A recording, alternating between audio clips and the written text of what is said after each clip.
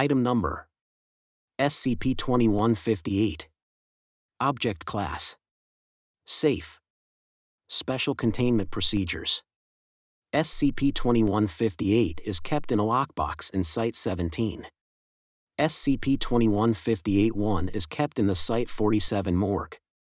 Description SCP-2158 is a Remington Model 1875 revolver clasped in the disembodied hand of Joshua Graham, 1868-1893. It is unmodified save for handmade grips of cowhorn.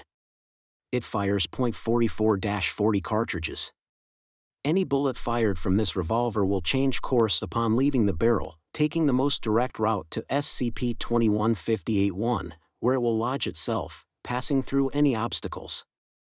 SCP-2158-1 is the embalmed body of Stanley Tewksbury, 1871-1924, a rancher originally buried in Pumpkin Center, Arizona.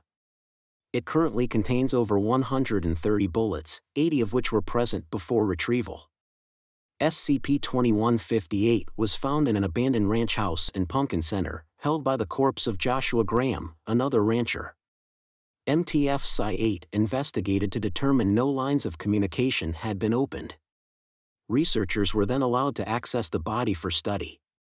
Autopsy showed death by hanging as the cause of death. Most of the body was badly decomposed, but the hand was mummified and could not be removed from the revolver. Notably, Stanley Tewksbury died of natural causes 30 years after Joshua Graham passed away. Thanks for watching.